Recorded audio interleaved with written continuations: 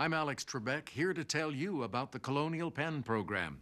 If you're age 50 to 85 and looking to buy life insurance on a fixed budget, remember the three P's. The three P's? What are the three P's? The three P's of life insurance on a fixed budget are price, price, and price.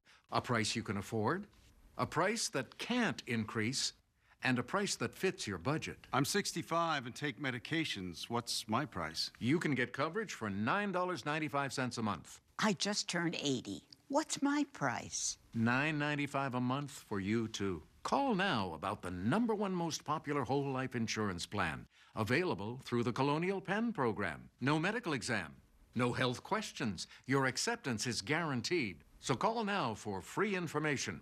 Call 1 800 480 3322 for free information and a free gift. That's 1 800 480 3322. Call now. Here's another cleaning tip from Mr. Clean. Cleaning tough bathroom and kitchen messes with sprays and wipes can be a struggle. There's an easier way. Try Mr. Clean Magic Eraser. Just wet, squeeze, and erase tough messes like bathtub soap scum and caked on grease from oven doors. Now Mr. Clean Magic Eraser comes in disposable sheets. They're perfect for icky messes on stovetops, in microwaves, and all over the house. For an amazing clean, try Mr. Clean Magic Eraser and Mr. Clean Magic Eraser Sheets. When severe weather strikes, Storm Track 7 hits the road, keeping you safe, alerting you first. It's Washington's early warning weather unit, Storm Track 7, powered by Stormwatch 7, presented by FH Furr, plumbing, heating, and electrical. California is making it easier for truck drivers to enjoy a warm meal. Governor Gavin Newsom signed an executive order allowing food trucks to operate at rest areas. This is welcome news because the size of truck rigs prevent drivers from going through drive-throughs or parking curbside to run in and grab a takeout meal. Truckers are the heroes helping deliver essential goods and medical supplies. When he is not working as an ER doctor, a Texas man is riding out the pandemic in his children's treehouse. In order to keep his family from potentially getting sick, Dr. Jason Barnes is camped out in the backyard.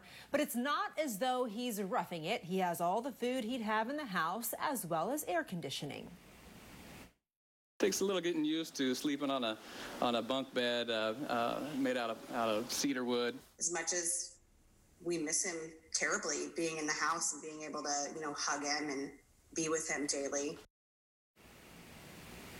Well, Barnes often shouts down to his kids if he needs something, and sometimes they listen, but other times he just walks up to the kitchen window to get something to eat.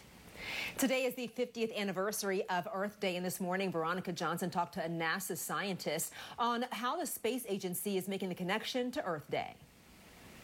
One of the things that um, that uh, NASA has done is allowed us all to see the Earth from space.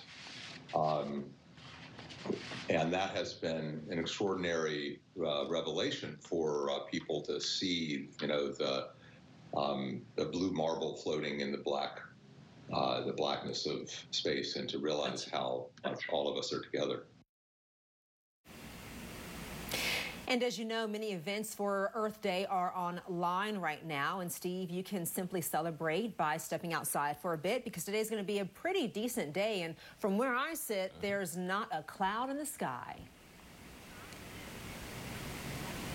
Yeah, it is so, so pretty out there as we uh, move through our midday. We're going to see lots of sunshine, so take advantage of it now. And as we head over toward Georgetown Harbor, this is our camera that's atop the Mandarin. You can see folks social distancing and, of course, getting a little bit of fresh air. Out in Bluemont, how pretty is that? Crystal clear blue skies right now, nice and green, but tree pollen now in the high category for those of you who suffer from tree allergies. Belle Haven Country Club in Alexandria looking across the river toward Oxon Hill and National Harbor, cloud free. Temperature wise, my goodness, it's chilly out there. We're only in the upper 40s and lower 50s, well below average we normally see for now late April.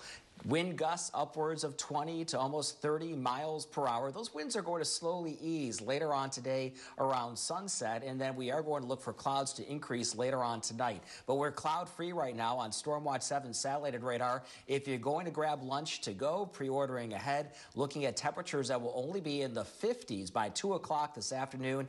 The rush hour commute, and it's uh, weird to say rush hour because we really don't have one anymore, looking at temperatures that are going to slowly fall through the 50s, and we'll see 7 p.m. temperatures just around 57 degrees. Now, for tonight, after midnight, clouds are going to begin to increase, all part of our next wet weather maker. Temperatures will be in the 30s to lower to middle 40s come early tomorrow morning, and we should start the day off dry. However, if you are going to be out and about come mid morning tomorrow, wet weather is on the way, and we will see daytime highs that will eventually make it to around 60. Now, here's your hour by hour look at our futurecast from Stormwatch 7. 9 o'clock, we're still dry inside and around the Beltway. Farther off toward the west of us, I 81 corridor during the noontime hour, moving into Loudoun and Prince William County, Fauquier County, and then wet weather will overspread